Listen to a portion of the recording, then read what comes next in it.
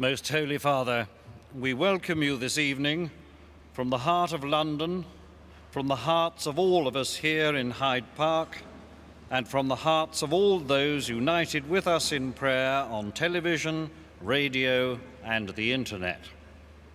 This afternoon, Holy Father, as we were preparing for your arrival, we reflected prayerfully on how the Catholic Church plays its part in harnessing the spirit of humble and loving service through the work of its agencies and charities at home and abroad. As a Catholic community, we know that authentic Christian life must be grounded in a daily spiritual encounter with the living God and in fulfilling the command of Jesus, love one another as I have loved you. We have come from all over Britain to share this historic moment with you and to celebrate and rejoice in the truth that God loves every human being unconditionally, irrespective of race, colour, or creed.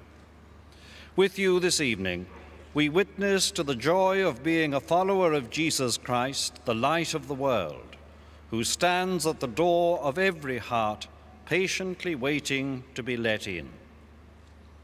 Holy Father, where we stand has a profound historical significance. Over 400 years ago, Catholic and Anglican martyrs witnessed to their faith in Jesus Christ when they were put to death at Tyburn, a short distance from here. We give thanks to God that in more recent times the Christian churches in our land work together in the light of the gospel for the common good of all in this country. There is so much that unites us, and we are committed to continuing the search for that visible unity for which Christ prayed. During our liturgy this evening, on the eve of the beatification of Cardinal John Henry Newman, we will spend time in Christ's presence, meditating on the Scriptures and on Cardinal Newman's life and words. We pray that our hearts will be ever more open to the presence and power of the Holy Spirit, so that our lives may radiate the light of Christ to those around us. Finally, Holy Father, we assure you of our love, our support, and our prayers for your ministry as chief shepherd of the church, for coming here to confirm us in the faith, and especially for teaching us by your own example what it means to be steadfast in our fidelity to the person and teaching of Jesus Christ. Thank you, Holy Father, for being with us this evening and for leading us now in this vigil of prayer.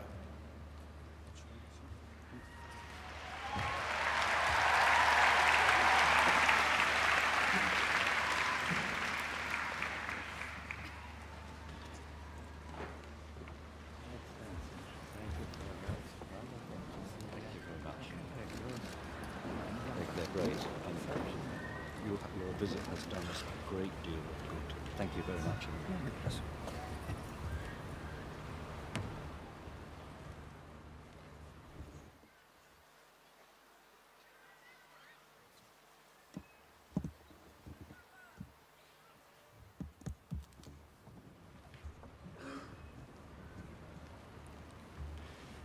In the name of the Father, and of the Son, and of the Holy Spirit.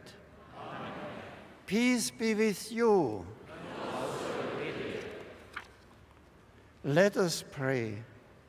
God of truth and love, your Son, Jesus Christ, stands as a light to all who seek you with a sincere heart. As we strive with your grace to be faithful in word and deed, may we reflect the kindly light of Christ and offer witness of hope and peace to all. We make our prayer through Christ our Lord.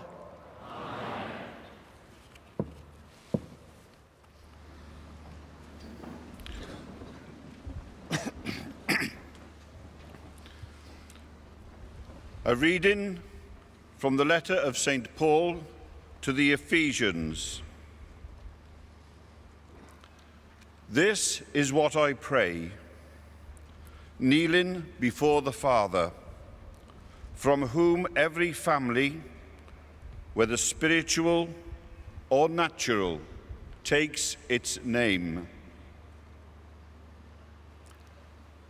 Out of his infinite glory, may he give you the power through his Spirit for your hidden self to grow strong, so that Christ may live in your hearts through faith.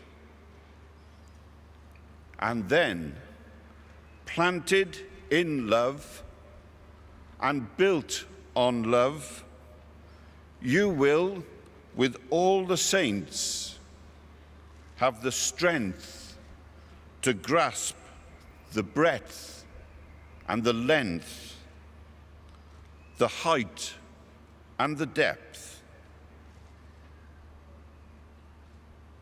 until knowing the love of Christ, which is beyond all knowledge, you are filled with the utter fullness of God. Glory be to him whose power working in us can do infinitely more than we can ask or imagine. Glory be to him from generation to generation in the church and in Christ Jesus forever and ever. This is the word of the Lord.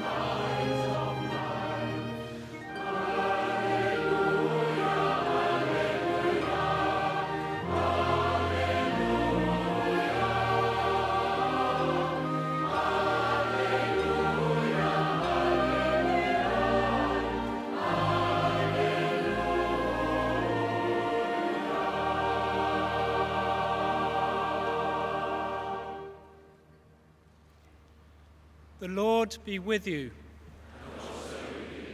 A reading from the Holy Gospel according to Matthew.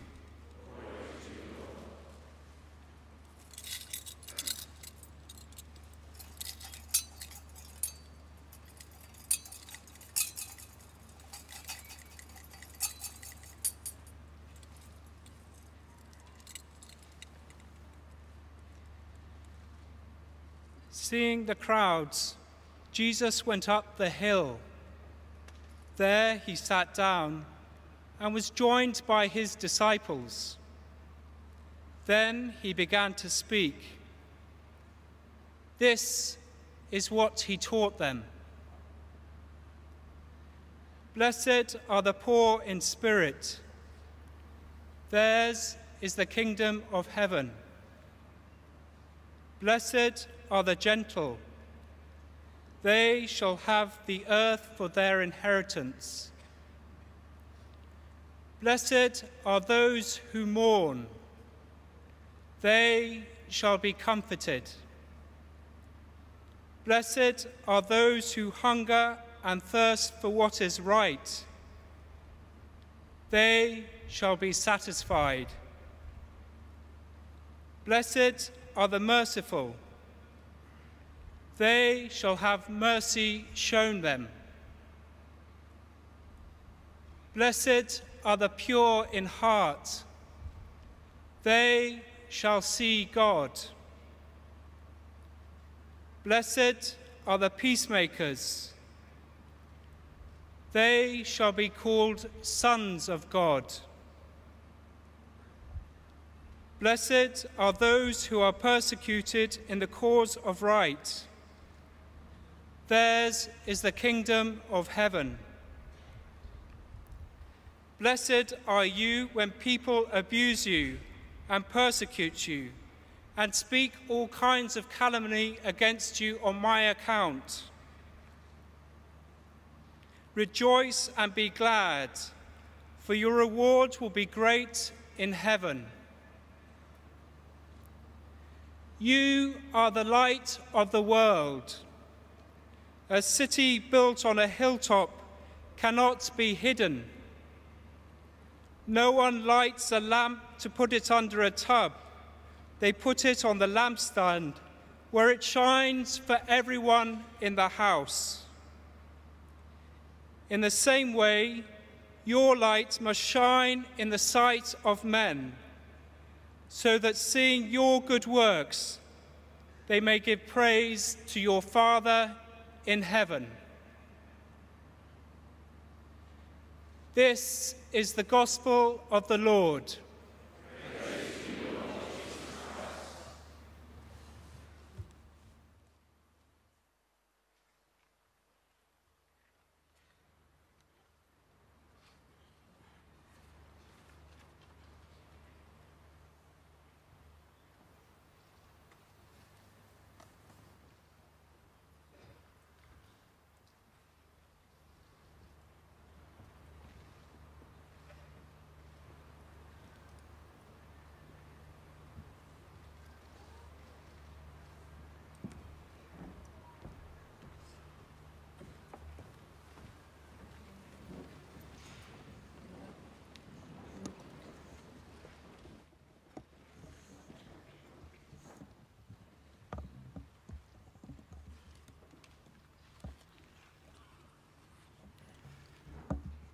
My brothers and sisters in Christ, this is an evening of joy, of immense spiritual joy for all of us.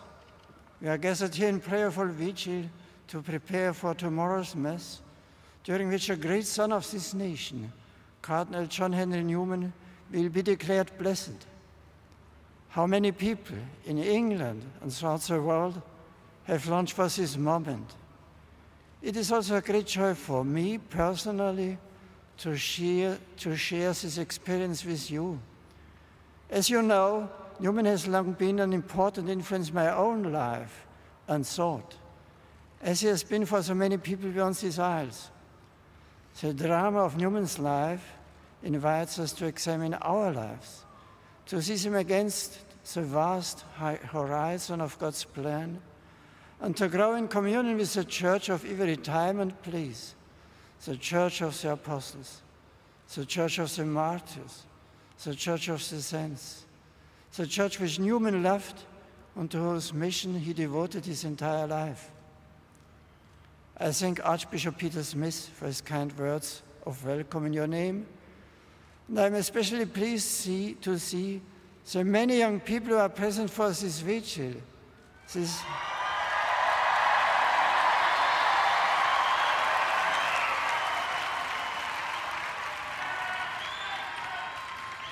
this evening, in the context of our common prayer, I would like to reflect with you about a few aspects of Newman's life, which I consider very relevant to our lives as believers and to the life of the church today.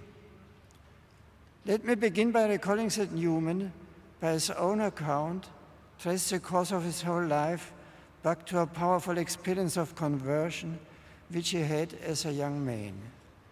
It was an immediate experience of the truth of God's word, of the objective reality of Christian revelation as handed down in the church.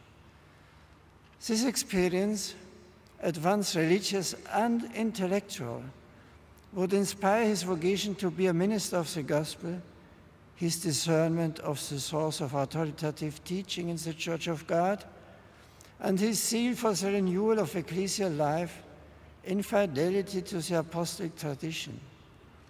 At the end of his life, Newman would describe his life's work as a struggle against the growing tendency to view religion as a purely private and subjective matter, as a question of personal opinion. Here's the first lesson we can learn from his life. In our day, when an intellectual and moral relativism threatens to sap the very foundations of our society, Newman reminds us that as men and women made in the image and likeness of God, we were created to know the truth, to find in the truth our ultimate freedom and the fulfillment of our deepest human aspirations. In a word, we are meant to know Christ, who is himself the way and the truth and the life. Newman's life also teaches us that passion for the truth, intellectual honesty, and genuine conversion are costly. The truth that sets us free cannot be kept to ourselves. It calls for testimony. It begs to be heard, and in the end, its convincing power comes from itself and not from human eloquence or arguments in which it may be couched.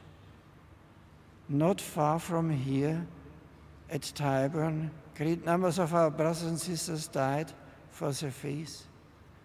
The witness of their fidelity to the end was even more powerful than the inspired words that so many of them spoke before surrendering everything to the Lord. In our own time, the price to be paid for fidelity to the gospel is no longer being hedged, drawn out, quartered, but it often involves being dismissed out of hand, ridiculed, or parodied.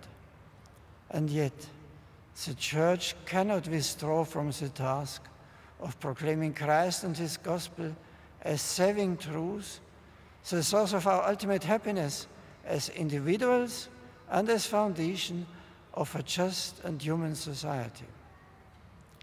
Finally, Newman teaches us that if we have accepted the truth of Christ and committed our lives to Him, there can be no separation between what we believe and the way we live or live. Or every thought, what an word and action must be directed to the glory of God and the spread of His kingdom. Newman understood this and was a great champion of the prophetic office, office of the Christian laity. He saw clearly that we do not so much accept the truth in a purely intellectual act as embrace it in a spiritual dynamic that penetrates to the core of our being.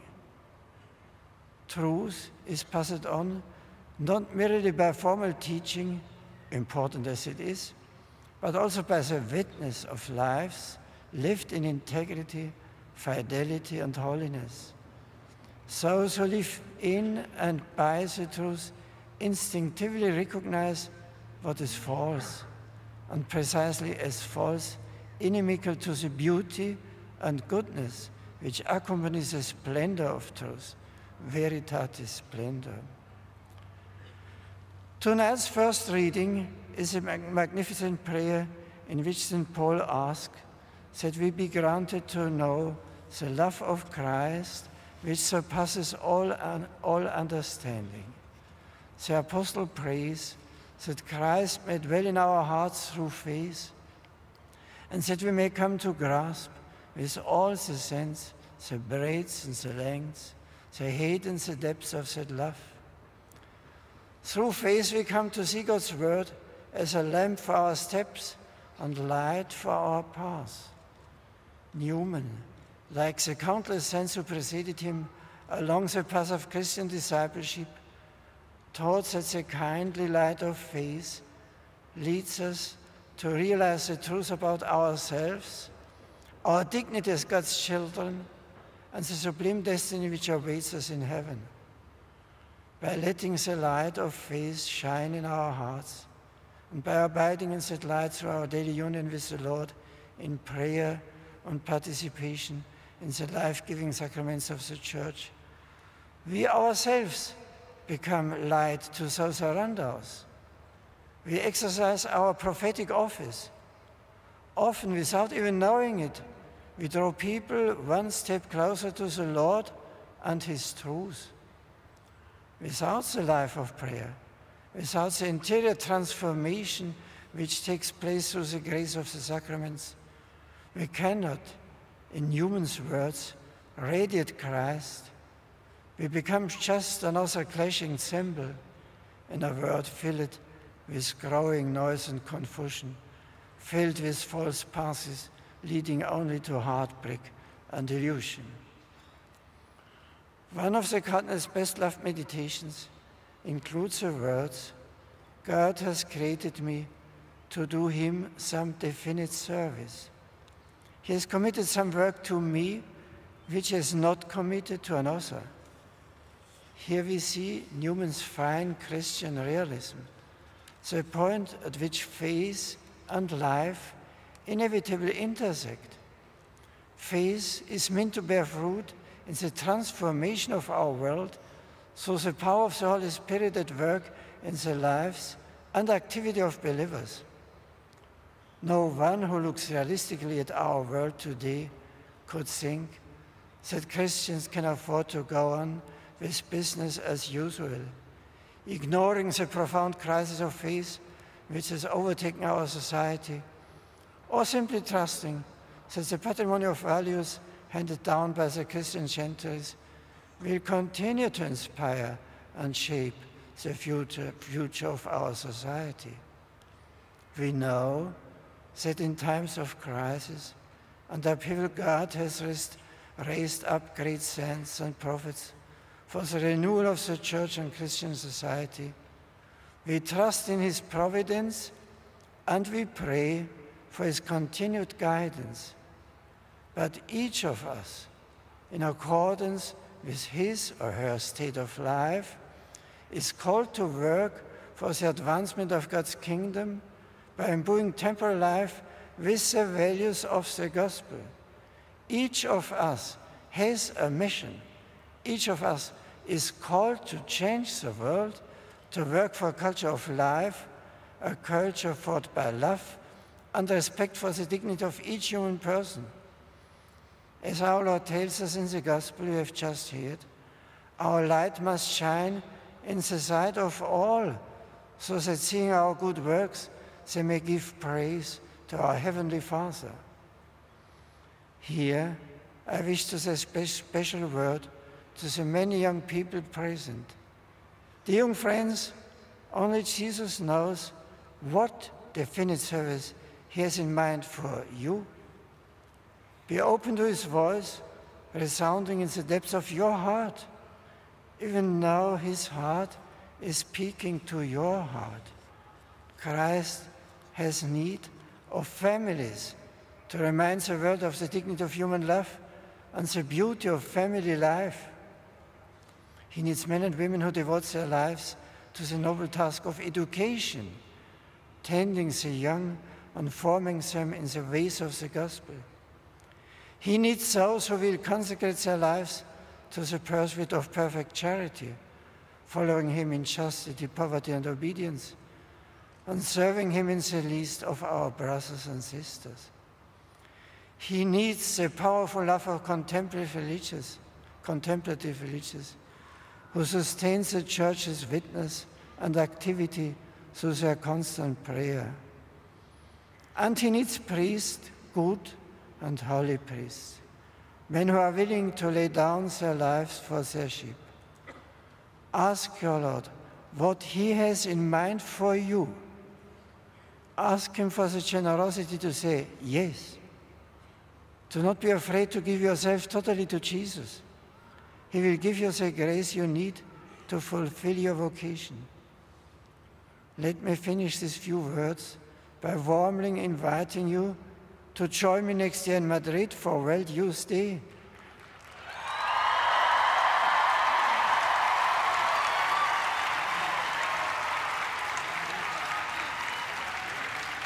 It is always a wonderful occasion to grow in love for Christ and to be encouraged in joyful life of faith along with thousands of other young people.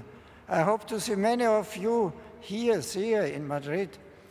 And now, dear friends, let us continue our vigil of prayer by preparing to encounter Christ, present among us in the blessed sacrament of the altar. Together, in the silence of our common adoration, let us open our minds and hearts to His presence, His love, and the convincing power of His truth. In a special way, let us thank Him for the enduring witness so that truth offered by Cardinal John Henry Newman. Trusting in His prayers, let us ask the Lord to illumine our path and the path of all British society with the kindly light of His truth, His love, and His peace. Amen.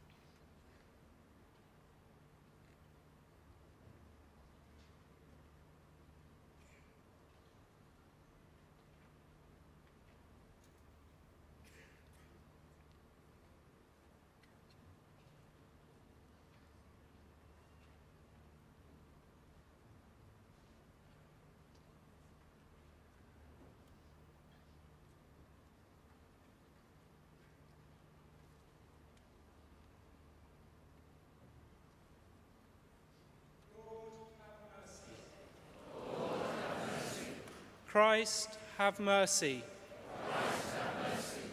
Lord, have mercy.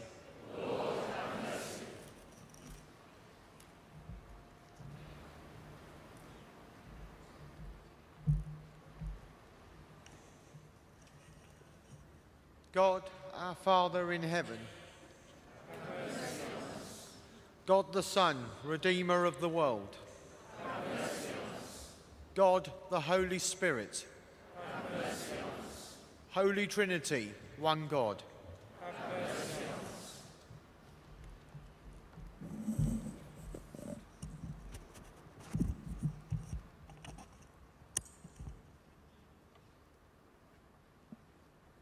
Heart of Jesus, Son of the Eternal Father. Heart of Jesus, infinite in majesty. Have mercy. Heart of Jesus, holy temple of God. Heart of Jesus, tabernacle of the Most High. Heart of Jesus, house of God, and gate of heaven. Heart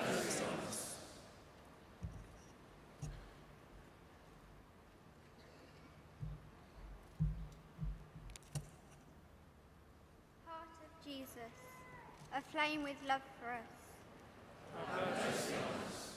Heart of Jesus, source of justice and love.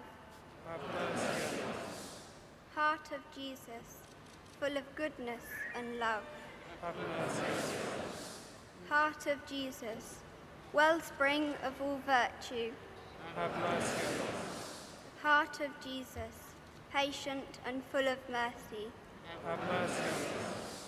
Heart of Jesus, generous to all who turn to you. Have mercy. Heart of Jesus, fountain of all life and holiness. Have mercy.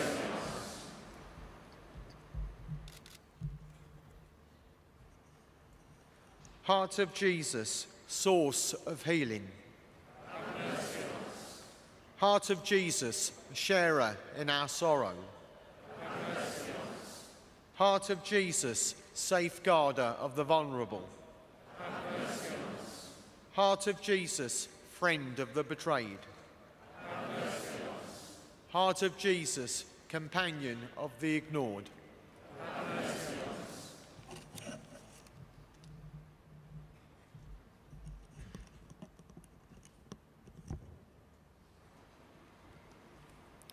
Heart of Jesus, face of the misjudged. Heart of Jesus, wounded by our failings. Heart of Jesus, bearer of our sufferings. Heart of Jesus, acquainted with grief. Heart of Jesus, atonement for our sins. Heart of Jesus, overwhelmed with insults. Heart of Jesus, broken for our sins. Heart of Jesus, obedient even to death. Heart of Jesus, pierced by a lance.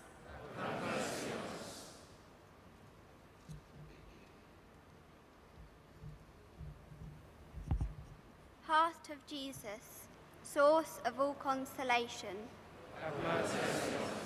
Heart of Jesus, our life and resurrection. Heart of Jesus, our peace and reconciliation. Heart of Jesus, victim for our sin. Have mercy. Heart of Jesus, salvation of all who trust in you. Have mercy. Heart of Jesus, hope of all who die in you. Have mercy. Heart of Jesus, delight of all the saints.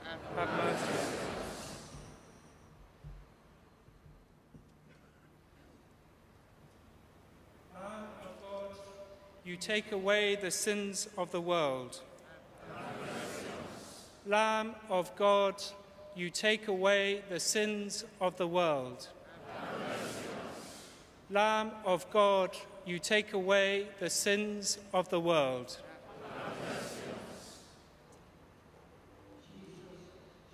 humble of heart.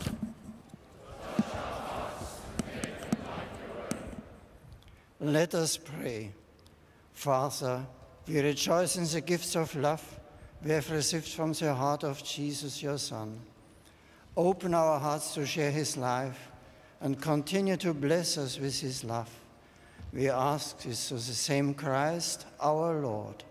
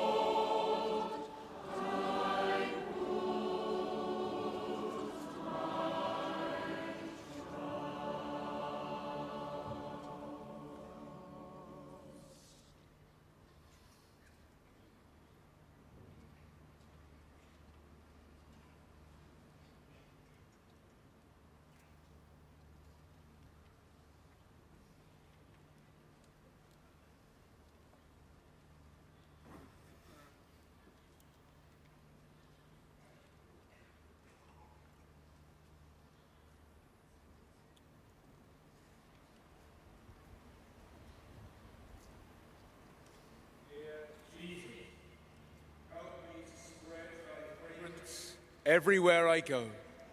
Flood my soul with thy spirit and life. Penetrate and possess my whole being so utterly that all my life may only be a radiance of thine. Shine through me and be so in me that every soul I come into contact with may feel thy presence in my soul. Let them look up and see no longer me, but only Jesus. Stay with me, and then I shall begin to shine as thou shinest. So to shine as to be a light to others. The light, O Jesus, will be all from thee. None of it will be mine. It will be thou shining on others through me. Let me thus praise thee in the way thou dost love best, by shining on those around me. Let me preach thee without preaching, not by words, but by my example, by the catching force of the sympathetic influence of what I do, the evident fullness of the love my heart bears to thee. Amen.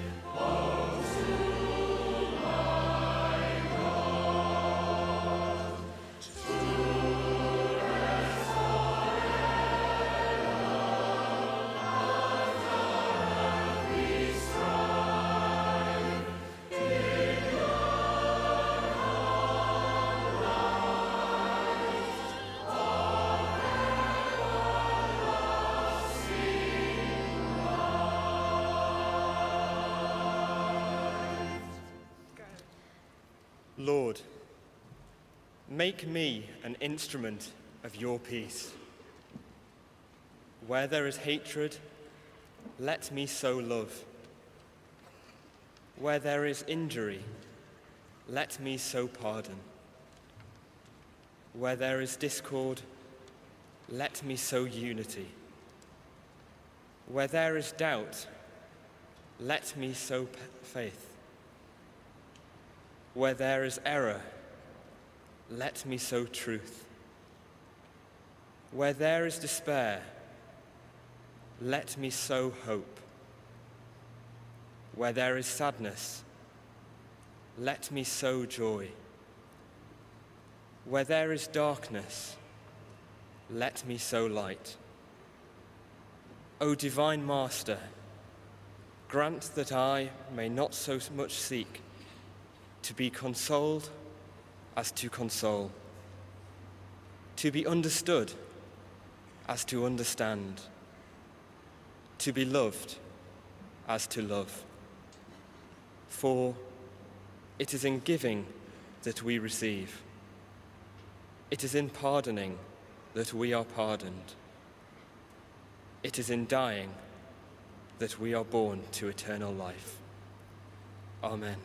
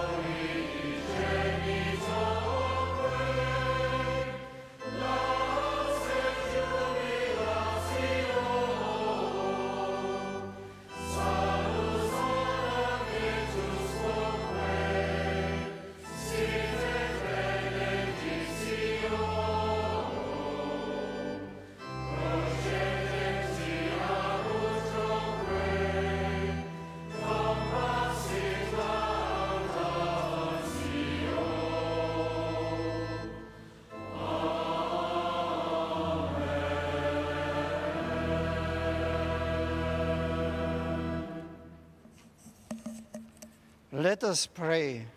Lord our God, in this great sacrament we come into the presence of Jesus Christ, your Son, born of the Virgin Mary and crucified for our salvation. May we, who declare our faith in this fountain of love and mercy, drink from it the water of everlasting life. We ask this through Christ our Lord.